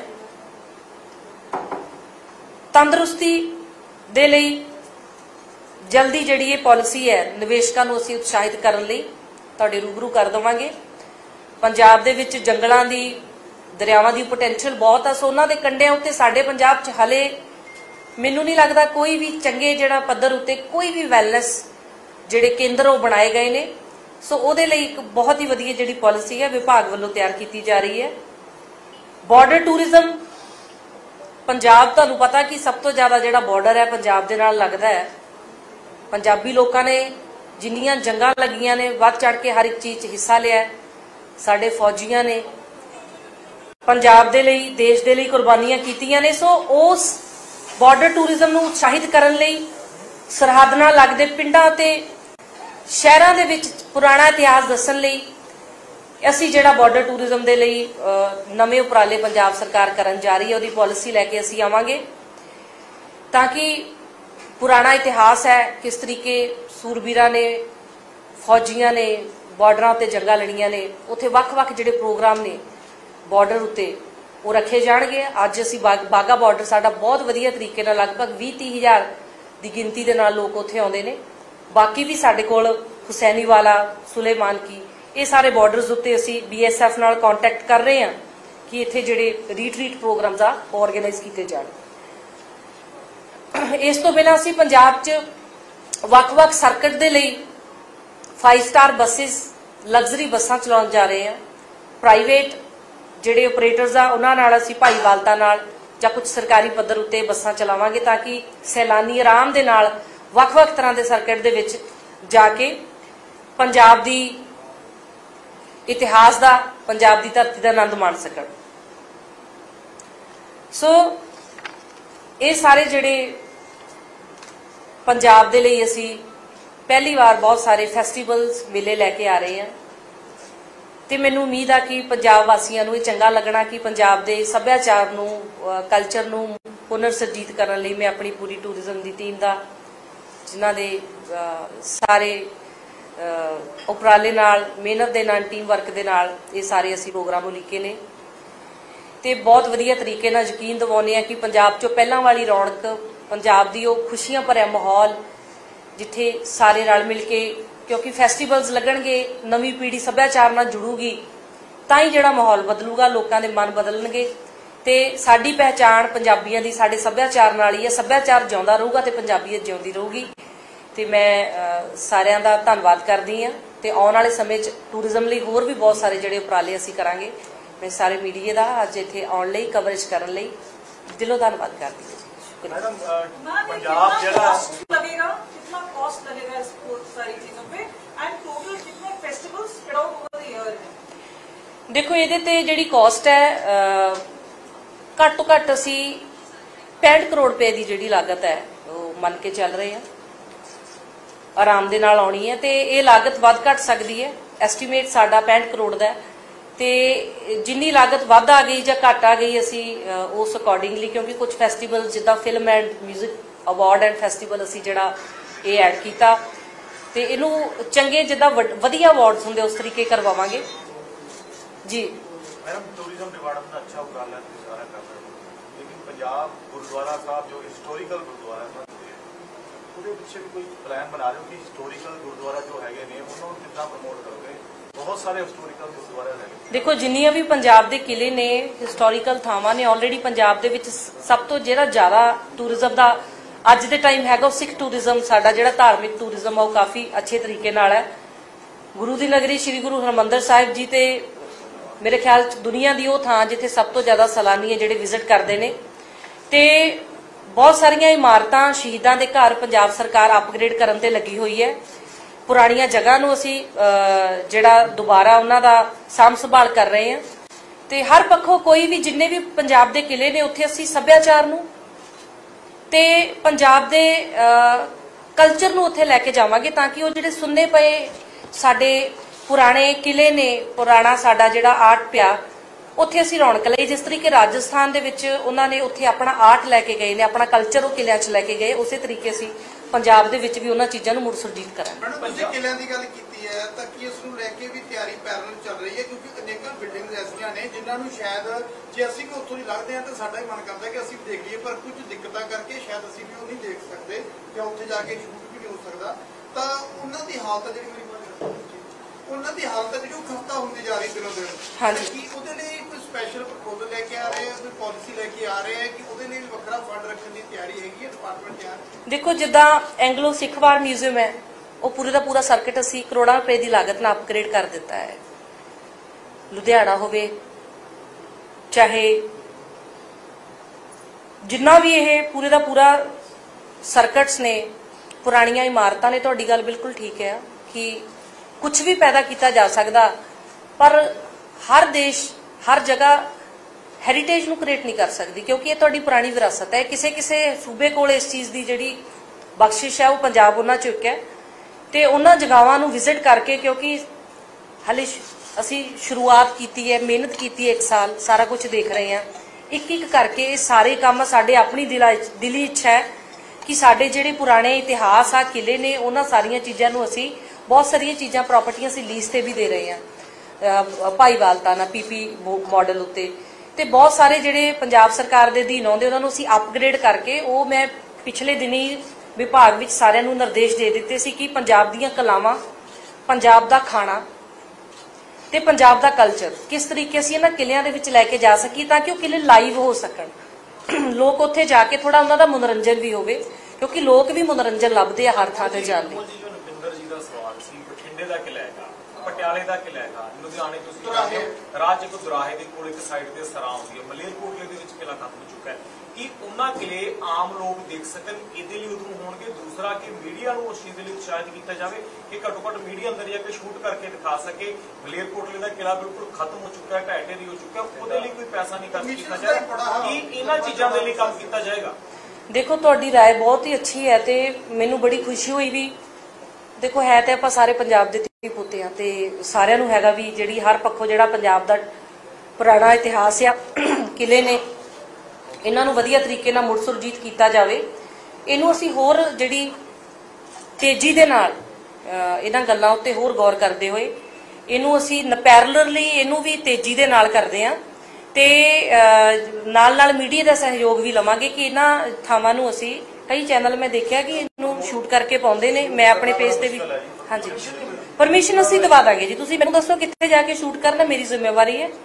ਤੇ ਤੁਹਾਡੇ ਸੁਝਾਅ ਨੇ ਜੇ ਸਾਰਿਆਂ ਦੇ, ਕਿਸੇ ਦੇ ਵੀ ਸੁਝਾਅ ਨੇ ਕਿ ਕਿਸ ਜਗ੍ਹਾ ਉੱਤੇ ਅਸੀਂ ਕਿਸ ਤਰੀਕੇ ਬੈਟਰ ਹੋਰ ਕੀਤਾ ਜਾ ਸਕਦਾ, ਅਸੀਂ ਖੁਦ ਵੀ ਸਾਰਾ ਪਲਾਨ ਬਣਾ ਰਹੇ ਹਾਂ। ਫੈਸਟੀਵਲ ਦੀ ਲਿਸਟ ਦੇਖ ਰਹੇ ਹਾਂ ਜੀ। ਕਿ ਬਹੁਤ ਸਾਰੇ ਇਸ ਦੇ ਵਿੱਚ ਫੈਸਟੀਵਲ ਇਦਾਂ ਦੇ ਹੈ, ਜਿਹੜੇ ਪਿਛਲੇ 15-20 ਸਾਲਾਂ ਤੋਂ ਚੱਲ ਰਹੇ ਹੈ ਜਾਂ ਬਹੁਤ ਸਾਰੀਆਂ ਆਰਗੇਨਾਈਜੇਸ਼ਨ ਕੀ ਫੈਸਟੀਵਲ ਕਰਾ ਰਹੀ ਹੈ। ਬਠਿੰਡੇ ਦਾ ਫੈਸਟੀਵਲ ਹੈ, ਬਾਬਾ ਫਰੀਦ ਦਾ ਫੈਸਟੀਵਲ ਹੈਗਾ। ਇਸ ਤੋਂ ਇਲਾਵਾ ਹੋਰ ਦੋ ਤਿੰਨ ਫੈਸਟੀਵਲ ਅਸੀਂ ਬਿਲਕੁਲ ਲਿਟਰੇਰੀ ਫੈਸਟੀਵਲ ਹੈ। ਕੀ ਪੰਜਾਬ ਸਰਕਾਰ ਪੂਰੇ ਤਰੀਕੇ ਨਾਲ ਇਸ ਨੂੰ ਅਡਾਪਟ ਕਰੇਗੀ ਜਾਂ ਕਹੀਏ ਕਿ ਉਹਨਾਂ ਦੇ ਨਾਲ ਮਿਲ ਕੇ ਉਸ ਤਰੀਕੇ ਨਾਲ ਕੰਮਕਾਜ ਅੱਗੇ ਵਧਾਇਆ ਜਾਏਗਾ? ਨਹੀਂ ਜਿਹੜੇ ਫੈਸਟੀਵਲ ਆ ਦੇਖੋ ਕੁਝ ਤਾਂ ਸਾਡੀ ਸਰਪ੍ਰਸਤੀ ਹੇਠ ਚੱਲਦੇ ਨੇ ਜੀ। ਉਹ ਸਾਰੇ ਦੇ ਸਾਰੇ ਅਸੀਂ ਹੀ ਖੁਦ ਚਲਾਵਾਂਗੇ। ਇਹਦੇ ਵਿੱਚੋਂ ਜਿੰਨੇ ਵੀ ਅੱਜ ਮੈਂ ਫੈਸਟੀਵਲ ਅਨਾਉਂਸ ਕੀਤੇ ਨੇ ਚੋਂ 95% ਫੈਸਟੀਵਲ ਪੰਜਾਬ ਸਰਕਾਰ ਨਵੇਂ ਕਰਵਾਉਣ ਜਾ ਰਹੀ ਹੈ ਜਿਹੜੇ ਨਹੀਂ ਹੁੰਦੇ ਸੀ। ਜਿਹੜੇ ਫੈਸਟੀਵਲ ਪਹਿਲਾਂ ਚੱਲ ਰਹੇ ਨੇ ਜਿੱਦਾਂ ਮੈਂ ਸ਼ੁਰੂਆਤ ਕੀਤੀ ਕਿਲਾ ਰਾਏਪੁਰ ਦੀ। ਕਿਲਾ ਰਾਏਪੁਰ ਦਾ ਬਹੁਤ ਛੋਟਾ ਸੀਮਤ ਅਦਾ- ਦਾਇਰਾ ਦਾਇਰਾ ਰਹਿ ਗਿਆ ਸੋ ਅਸੀਂ ਉਹਨਾਂ ਨੂੰ ਵੱਧ ਚੜ ਕੇ ਯੋਗਦਾਨ ਪਾਵਾਂਗੇ ਜਿੰਨਾ ਯੋਗਦਾਨ ਹੋ ਸਕ ਕਰੋੜਾਂ ਰੁਪਏ ਦਾ ਯੋਗਦਾਨ ਪਾ ਕੇ ਅਸੀਂ मैम एक सवाल पूछना चाहेंगे अभी आपके जो टूरिस्ट हैं वो कितने हैं स्टेट में क्या टारगेट रखा है अ, एक ये बात के सामने आ रही है कि काफी अ, एक नेगेटिव इम्पैक्ट गया है सिंस अमृतपाल और वटेवर कि कि यू नो सेफ नहीं है एक इमेज था तो क्या कर रहे हैं कोई स्पेशल टूर पैकेजेस आप देंगे आउटसाइडर्स को या किस तरह से नहीं इसका पूरा पर्पस क्या है एक ये बता दीजिए टूरिस्ट अभी कितना है और कितना आपका टारगेट है ਦੇਖੋ ਸਾਡੇ ਅਹ, ਸਭ ਤੋਂ ਜ਼ਿਆਦਾ ਜਿੱਥੇ ਟੂਰਿਸਟ ਆਉਂਦਾ ਸ਼੍ਰੀ ਅੰਮ੍ਰਿਤਸਰ ਸਾਹਿਬ ਹੈ ਜੇ ਅਸੀਂ ਅਹ, ਇੱਕ ਅੰਕੜਾ ਕੱਢੀਏ ਤੇ 1 ਲੱਖ ਟੂਰਿਸਟ ਅੰਮ੍ਰਿਤਸਰ ਸਾਹਿਬ ਆ ਰਿਹਾ ਉੱਥੋਂ ਹੀ ਸਰਕੂਲੇਟ ਬਾਕੀ ਪੰਜਾਬ ਚ ਹੁੰਦਾ ਕਿਉਂਕਿ ਸਾਡਾ ਜਿਹੜਾ ਟੂਰਿਸਟ ਸਥਲ ਹੈ ਉਹ ਅੰਮ੍ਰਿਤਸਰ ਸਾਹਿਬ ਹੈ ਤੇ ਜੇ ਅਸੀਂ ਇੰਨੇ ਮੇਲੇ ਕਰਵਾਉਂਦੇ ਆ ਪ੍ਰੋਗਰਾਮ ਕਰਵਾਉਨੇ ਆ ਤੇ ਉਹਨਾਂ ਨੂੰ ਦੇਸ਼ ਭਰ ਚ ਦਿਖਾਉਂਦੇ ਹਾਂ। ਸਾਡੀ ਤੇ ਆਪਣੇ ਦੇਸ਼ ਦੀ ਪਾਪੂਲੇਸ਼ਨ ਬਹੁਤ ਜ਼ਿਆਦਾ ਜੇ ਆਪਣੇ ਦੇਸ਼ ਚੋਂ ਅਸੀਂ ਸੈਲਾਨੀਆਂ ਨੂੰ ਪੰਜਾਬ ਚ ਅਟਰੈਕਟ ਕਰਦੇ ਆ ਦੇਖੋ ਅਸੀਂ ਸ਼ੁਰੂਆਤ ਕੀਤੀ ਹੈ ਹੌਲੀ ਹੌਲੀ ਅੰਕੜਾ ਤੁਹਾਡੇ ਸਾਹਮਣੇ ਆ ਜਾਣਾ ਕਿ ਕਿੰਨਾ ਕੋਸ਼ਿਸ਼ ਕਰਾਂਗੇ, ਮਿਹਨਤ ਕਰਾਂਗੇ ਤਾਂ ਸਾਰਾ ਕੁਝ ਹੋ ਜਾਂਦਾ ਤੇ ਮੈਂ ਇਹ ਚਾਹੂੰਗੀ ਵੀ ਆਪਾਂ 네ਗੇਟਿਵਿਟੀ ਦੇਖੋ, ਜਦੋਂ ਕੋਈ ਕੰਮ ਕਰਦਾ ਨਾ ਹਰ ਵੇਲੇ ਆਪਾਂ ਹਰ ਚੀਜ਼ ਦੇ ਵਿੱਚ 네ਗੇਟਿਵਿਟੀ ਨਹੀਂ ਲਿਆ ਸਕਦੇ। ਉਹ ਜਿਹੜੇ ਮੁੱਦੇ ਖਤਮ ਹੋ ਗਏ ਉਹਨਾਂ ਨੂੰ ਚੱਕਣ ਦਾ ਸਿਰਫ ਹਰ ਚੀਜ਼ ਨੂੰ ਨਿਊਜ਼ ਬਣਾਉਣ ਲਈ ਇੱਕ ਮੇਰੇ ਮੂੰਹੋਂ ਕੁਝ ਉਹ ਲੈਣ ਲਈ ਨਹੀਂ। ਹੁਣ ਤੁਹਾਨੂੰ ਵੀ ਖੁਸ਼ੀ ਹੋਣੀ ਚਾਹੀਦੀ ਹੈ ਵੀ ਅਸੀਂ ਮਿਹਨਤ ਕਰਕੇ ਸਾਰਾ ਕੁਝ ਬਣਾਇਆ ਤੇ ਝਗੜਾ ਕਰ ਰਹੇ ਹੋ ਕਿਲਾ ਰਾਏਪੁਰ ਦੀ ਗੇੜ ਸੀ? ਉੱਥੇ ਬਲਦਾਂ ਦੀ ਜਿਹੜੀ ਖੇਡ ਹੁੰਦੀ ਸੀ ਜਿਸ ਤਰ੍ਹਾਂ ਤਾਮਿਲਨਾਡੂ ਦੇ ਵਿੱਚ ਜੱਲੀਕੱਟੂ ਅਹ ਜੱਲੀਕੱਟੂ ਦੇ ਵਿੱਚ ਹੁੰਦੀ ਸੀ ਖੇਡ ਉਹਨਾਂ ਨੇ ਪਹਿਲਾਂ ਵਿਧਾਨ ਸਭਾ ਦੇ ਵਿੱਚ ਉਹਨੂੰ ਲੈ ਕੇ ਆਏ ਤੇ ਉੱਥੋਂ ਪਾਸ ਕਰਾਇਆ ਉਸ ਤੋਂ ਬਾਅਦ ਸੁਪਰੀਮ ਕੋਰਟ ਤੱਕ ਜਾਈ ਜਿੱਤ ਕੇ ਆਏ। ਤਾਂ ਤੁਸੀਂ ਉਹਦੇ ਲਈ ਕੀ ਯਤਨ ਕਰ ਰਹੇ ਹੋ? ਦੇਖੋ ਉਹਦੇ ਲਈ ਵੀ ਅਸੀਂ ਸੈਕਟਰੀ ਸਾਹਿਬ ਉਹਦੇ ਲਈ ਜ਼ਰੂਰ ਕਿਲਾ ਰਾਏਪੁਰ ਦੀ ਬਹੁਤ ਵੱਡੀ ਮੰਗ ਹੈ ਕਿ ਉੱਥੇ ਜਿਹੜੀਆਂ ਬੈਲ ਗੱਡੀਆਂ ਦੀਆਂ ਦੌੜਾਂ ਹੁੰਦੀਆਂ ਨੇ। ਤੁਸੀਂ ਮੋਹਾਲੀ ਨਾਲ ਸੰਬੰਧਿਤ ਮੰਤਰੀ ਹੋ ਕੋਈ ਮੋਹਾਲੀ ਦੇ ਵਿੱਚ ਕੋਈ ਟੂਰਿਸਟ ਪੁਆਇੰਟ ਵੱਡਾ ਬਣਾ ਰਹੇ ਹੋ? ਮੋਹਾਲੀ ਜ਼ਿਲ੍ਹੇ 'ਚ ਕੋਈ ਤੁਹਾਡਾ ਜਿਹੜਾ ਚੰਡੀਗੜ੍ਹ ਨੂੰ ਜਾਂ ਇਸ ਏਰੀਏ ਨੂੰ ਫੀਡ ਕਰੇ ਕੋਈ ਵੱਡਾ ਦੇਖੋ ਮੋਹਾਲੀ ਪੰਜਾਬ ਦੀ ਸ਼ਾਨ ਹੈ ਜੀ। ਮੋਹਾਲੀ ਲਈ ਅਸੀਂ ਜਿਹੜਾ ਸਭ ਤੋਂ ਵੱਡਾ ਟੂਰਿਸਟ ਸਮਿਟ ਹੈ, ਜਿੱਥੇ ਟੂਰ ਆਪਰੇਟਰ ਆਉਣਗੇ, ਸੈਲਾਨੀ ਆਉਣਗੇ, ਜਿੱਥੇ ਵੱਖ-ਵੱਖ ਇਨਵੈਸਟਰ ਆਉਣਗੇ, ਉਹ ਇਸ ਤਾਂ ਮੋਹਾਲੀ ਦੀ ਧਰਤੀ ਤੇ ਆਉਣਗੇ। ਸੋ ਉਹਨਾਂ ਨੂੰ ਸਾਰਾ ਮੋਹਾਲੀ ਦਿਖਾਇਆ ਜਾਊਗਾ ਤੇ ਮੈਕਸਿਮਮ ਇਨਵੈਸਟਮੈਂਟ ਹੈ ਜਿਹੜੀ, ਅਸੀਂ ਮੋਹਾਲੀ 'ਚ ਲੈ ਕੇ ਆਵਾਂਗੇ। ਜੋ ਕੰਮ ਕਰਦੇ ਉਸ ਤੋਂ ਬਾਅਦ ਨਹੀਂ ਹੁੰਦਾ, ਕਈ ਵਾਰ ਜਿਵੇਂ ਸਪੀਚ ਤੋਂ ਆਉਂਦਾ ਸੀ ਦੇਖਿਆ ਸੀਗਾ ਕੋਈ ਤਾਂ ਉਹਦੇ ਲਈ ਕੋਈ ਪਾਲਿਸੀ ਬਣਾ ਇਸ ਤੇ ਅਸੀਂ ਗੌਰ ਕਰਦੇ ਹਾਂ। ਅਨਮੋਲ ਜੀ ਬਹੁਤ ਸਾਰੀਆਂ ਥਾਵਾਂ ਜਿਹੜੀਆਂ ਨੇ ਜਿੱਥੇ ਸ਼ਾਇਦ। ਜਿਸ ਢੰਗ ਦੇ ਨਾਲ ਜਿਹਦੇ ਪਹੁੰਚ ਜੇ ਕਰਦੇ ਆ ਕਿਤੇ ਨਹੀਂ ਜਿ- ਜਿ- ਜਿਸ ਥਾਂ ਤੇ ਪਹੁੰਚ ਜਿੱਦਾਂ ਹੁਣ ਤੁਸੀਂ ਇੱਥੇ ਵੀ ਦਿਖਾ ਰਹੇ ਆ ਬਹੁਤ ਸਾਰੀਆਂ ਥਾਵਾਂ ਜਿਹੜੀਆਂ ਨੇ ਜਿੱਥੇ ਅਗਰ ਪਹੁੰਚ ਵੀ ਕਰਨੀ ਹੈ ਤਾਂ ਸੜਕਾਂ ਦੀ ਮਨਖਾਦੀ ਬਹੁਤ ਆ। ਜਾਂ ਫਿਰ ਉੱਥੇ ਰਿਸੋਰਸਸ ਉਹਨੇ ਕਿ ਨਹੀਂ ਹੈਗੇ ਜਿੱਥੇ ਤੱਕ ਇਨਸਾਨ ਜਿਹੜਾ ਸਿੱਧੇ ਤੌਰ ਤੇ ਉੱਤੇ ਪਹੁੰਚ ਪਾਵੇ ਉਸ ਚੀਜ਼ ਨੂੰ ਲੈ ਕੇ ਪੰਜਾਬ ਸਰਕਾਰ ਕਿਸ ਤਰੀਕੇ ਨਾਲ ਦੇਖੋ ਅਸੀਂ ਤੁਹਾਡੀ ਗੱਲ ਠੀਕ ਆ ਕਿ ਜਿਹੜੀ ਰੋਡ ਦੇ ਰੋਡ ਲਿੰਕਸ ਨੇ ਵੀ ਠੀਕ ਕਰਨ ਵਾਲੀਆਂ ਨੇ। ਬਹੁਤ ਥਾਵਾਂ ਤੇ ਅਸੀਂ ਕੀਤੇ ਨੇ, ਬਹੁਤ ਥਾਵਾਂ ਉੱਤੇ ਤਾਂ ਸਾਈਨ ਬੋਰਡਸ ਤੱਕ ਨਹੀਂ ਸੀ ਕਿ ਤੁਸੀਂ ਇਸ ਜਗ੍ਹਾ ਤੋਂ ਜਾ ਸਕਦੇ ਹੋ। ਸੋ ਅਸੀਂ ਮੇਰੇ ਖਿਆਲ ਚ ਹੁਣੇ 60 ਲੱਖ ਰੁਪਏ ਦੀ ਲਾਗਤ ਦੇ ਨਾਲ ਚਾਹੇ ਉਹ ਸ਼ਹੀਦ ਭਗਤ ਸਿੰਘ ਜੀ ਦੇ ਘਰ ਦੀ ਗੱਲ ਹੈ ਤੇ ਵੱਖ-ਵੱਖ ਥਾਵਾਂ ਉੱਤੇ ਮੈਂ ਪਿਛਲੇ ਜਦੋਂ ਹੀ ਸਰਕਾਰ ਬਣੀ ਸੀ ਕਿ ਪੂਰੇ ਪੰਜਾਬ 'ਚ ਸਾਈਨ ਬੋਰਡਸ ਲਗਾ ਦਿੱਤੇ ਜਾਣ, ਤਾਂ ਕਿ ਲੋਕਾਂ ਨੂੰ 1 ਕਿਲੋਮੀਟਰ 2 ਕਿਲੋਮੀਟਰ ਤੋਂ ਪਹਿਲਾਂ ਪਤਾ ਲੱਗ ਜਾਵੇ ਕਿ ਅੱਗੇ ਇਹ ਵਾਲੀ ਸਾਡੀ ਇਤਿਹਾਸਿਕ ਜਿਹੜੀ ਇਮਾਰਤ ਆਉਣ ਵਾਲੀ ਹੈ।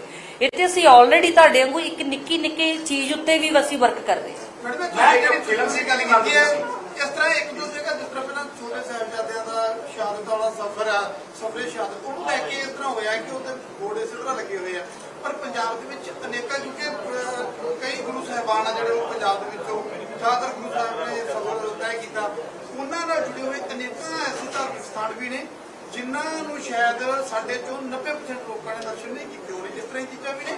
ਔਰ ਟੂਰਿਜ਼ਮ ਦੇ ਲਿਆਉਣ ਦੇ ਨਾਲ ਜਿਹੜੇ ਵਿਰਾਸਤੀ ਨੇ ਜਾਂ ਰਿਆਸਤੀ ਨੇ, ਉਹ ਵੀ ਨੇ। ਤਾਂ ਕੀ ਇਹ ਪੂਰੇ ਦਾ ਪੂਰਾ ਜਿਹੜਾ ਹੈ ਰੋਡ ਮੈਪ ਆ ਜਿਹੜਾ, ਉਹ ਸਾਰਾ ਤਿਆਰ ਕਰ ਰਹੇ ਹੋ ਕਿ ਹਰ ਜਗ੍ਹਾ ਜਿਹੜੀ ਕੋਈ ਵੀ ਜਗ੍ਹਾ ਜਿਹੜੀ ਹੁਣ ਤੱਕ ਅੱਖੋਂ ਧੋਖੀ ਹੈ ਉਹ ਸਾਡੀਆਂ ਨਜ਼ਰਾਂ 'ਚ ਆ ਬਿਲਕੁਲ ਠੀਕ ਹੈ ਜੀ ਤੁਹਾਡੀ ਗੱਲ। ਅਸੀਂ ਇੱਕ ਐਪ ਬੜੀ ਵਧੀਆ ਐਂਡ ਚੰਗੇ ਲੈਵਲ ਦੀ ਐਪ ਦਾ ਅਸੀਂ ਟੈਂਡਰ ਲਗਾ ਰਹੇ ਹਾਂ। ਉਸ ਐਪ ਦੇ ਵਿੱਚ ਅਲੱਗ-ਅਲੱਗ ਸਰਕਟ ਹੋਣਗੇ। ਉਹਦੇ 'ਚ ਹੀ ਤੁਹਾਨੂੰ ਇਹ ਪਤਾ ਲੱਗ ਜਾਣਾ ਕਿ ਆਹ ਸਾਡਾ ਰਿਲੀਜੀਅਸ ਸਰਕਟ ਹੈ। ਜੇ ਤੁਸੀਂ ਗੁਰਦੁਆਰਾ ਸਾਹਿਬ ਤੋਂ ਚੱਲੇ ਹੋ, ਨਾਲ ਦੀ ਨਾਲ ਪੂਰੀ ਚੇਨ ਗੁਰਦੁਆਰਾ ਸਾਹਿਬ ਦੀ ਉੱਥੇ ਦਿਖਣੀ ਹੈ। ਜੇ ਤੁਸੀਂ ਇੱਕ ਲੋਕੇਸ਼ਨ ਤੇ ਬੈਠੇ ਹੋ, ਤੁਹਾਨੂੰ ਚਾਰ ਲੋਕੇਸ਼ਨਸ ਹੋਰ ਦਿਖਣਗੀਆਂ। ਉੱਥੇ ਟੂਰ ਆਪਰੇਟਰ ਸਾਡੇ ਟੂਰਿਸਟ ਗਾਈਡ ਕੌਣ ਹੈ? ਉੱਥੇ ਲਾਗੇ ਤਾਗੇ ਖਾਣ ਪੀਣ ਵਾਲੀ ਜਗ੍ਹਾ ਕਿਹੜੀ ਹੈ?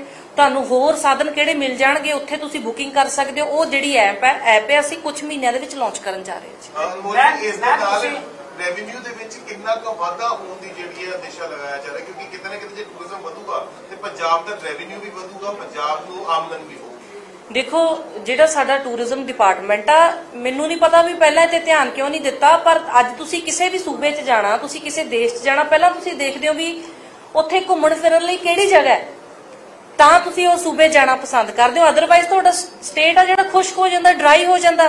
ਤੁਹਾਡੇ ਨੌਜਵਾਨ, ਤੁਹਾਡੇ ਜੇ ਐਂਟਰਟੇਨਮੈਂਟ ਦੇ ਸੋਰਸ ਨਹੀਂ, ਜਿਹੜੀ ਨਵੀਂ ਪੀੜ੍ਹੀ ਇਹਨਾਂ ਨੂੰ ਐਂਟਰਟੇਨਮੈਂਟ ਚਾਹੀਦਾ ਸੋ ਜਦੋਂ ਸਾਡੇ ਟੂਰਿਜ਼ਮ ਵਧਣਾ, ਸਾਡਾ ਟਰਾਂਸਪੋਰਟ ਵੀ ਚੱਲਣਾ ਹੈ, ਸਾਡੇ ਹੋਟਲਸ ਵੀ ਬੁੱਕ ਹੋਣੇ ਆ ਸਾਡਾ ਕੱਪੜਾ ਵੀ ਵਿਕਣਾ ਹੈ, ਸਾਡਾ ਖਾਣਾ ਵੀ ਵਿਕਣਾ ਹੈ, ਲੋਕਾਂ ਨੇ ਹਰ ਇੱਕ ਚੀਜ਼ ਨੂੰ ਖਰੀਦਣਾ, ਬਾਹਰੋਂ ਇੱਥੇ ਲੋਕ ਆਉਣਗੇ ਇਨਵੈਸਟ ਕਰਨਗੇ, ਮਾਹੌਲ ਵਧਣਾ ਇੰਡਸਟਰੀ ਵੀ ਆ ਜਾਊਗੀ ਇੱਕ ਇਕਨੋਮੀ 'ਚ ਬੂਮ ਆ ਜਾਂਦਾ ਹੈ। ਲੋਕਾਂ 'ਚ ਪੋਜ਼ਿਟਿਵਿਟੀ ਆਉਂਦੀ ਹੈ ਬੱਚਿਆਂ ਨੇ ਬਾਹਰ ਜਾਣ ਦੀ ਬਜਾਏ ਇੱਥੇ ਰਹਿਣਾ ਪਸੰਦ ਕਰਨਾ।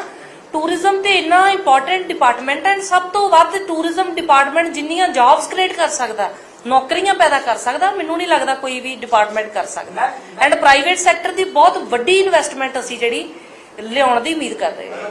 ਮੈਂ ਤੁਸੀਂ ਵੀ ਪੀਪੀ ਮੋਡ ਤੇ ਕਿਹਾ ਤੁਸੀਂ ਲੀਜ਼ ਤੇ ਕੁਝ ਮੋਨੂਮੈਂਟਸ ਵਗੈਰਾ ਦੇਣ ਬਾਰੇ ਸੋਚੋਗੇ ਜਾਂ ਦਓਗੇ ਮੈਮ ਜਿਵੇਂ ਕੇਂਦਰ ਸਰਕਾਰ ਨੇ ਲਾ ਕੇ ਆਇਆ ਹੋਰ ਚੀਜ਼ਾਂ ਦਿੱਤੀਆਂ ਨੇ ਤਾਂ ਕੇਜਰੀਵਾਲ ਸਾਹਿਬ ਕਹਿੰਦੇ ਨੇ ਕਿ ਉਹਨਾਂ ਨੇ ਵੇਚਤਾ ਪ੍ਰਾਈਵੇਟਾਈਜ਼ ਕਰਤਾ ਕਿ ਪ੍ਰਾਈਵੇਟ ਪਾਰਟੀ ਨੂੰ ਦਿੱਤਾ।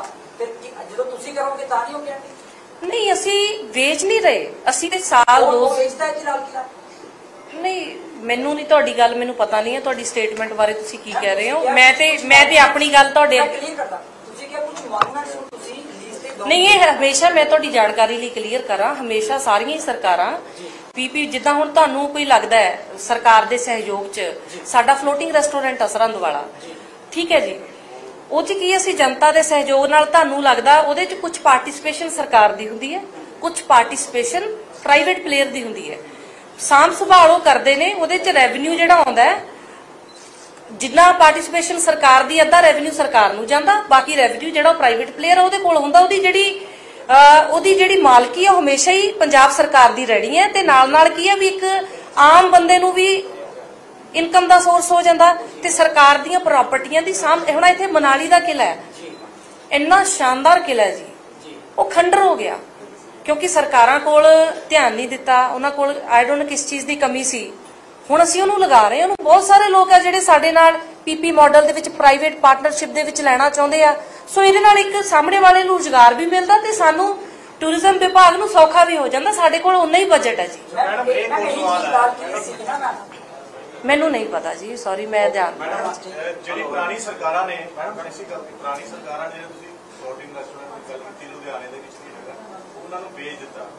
ਉਹ ਵਾਪਸ ਕੁਝ ਕਰ ਨਹੀਂ ਵੇਚਿਆ ਨਹੀਂ ਉਹ ਆਪਣੇ ਕੋਲ ਹੀ ਹੈ। ਸਾਲ ਦੀ ਲੀਜ਼ ਦਿੱਤੀ ਸੀ? ਉਹਨਾਂ ਨੇ 70 ਸਾਲ ਨਹੀਂ ਆਪਣੇ ਕੋਲ ਹੈ ਜੀ। ਹੁਣ ਅਸੀਂ ਦੁਬਾਰਾ ਉਸ ਚੀਜ਼ ਨੂੰ ਜਿਹੜਾ ਕਰਕੇ ਸੀਐਮ ਸਾਹਿਬ ਨੇ ਕਿਹਾ ਸੀ ਵੀ ਇਹ ਬੜੀ ਸੋਹਣੀ ਜਗ੍ਹਾ ਤੇ ਖਰਾਬ ਹੋ ਗਈ ਜਗ੍ਹਾ। ਪਈਆਂ ਪਈਆਂ ਬੰਦ ਲੀਜ਼ ਤੇ ਵੀ ਦਿੱਤੀਆਂ ਜੀ।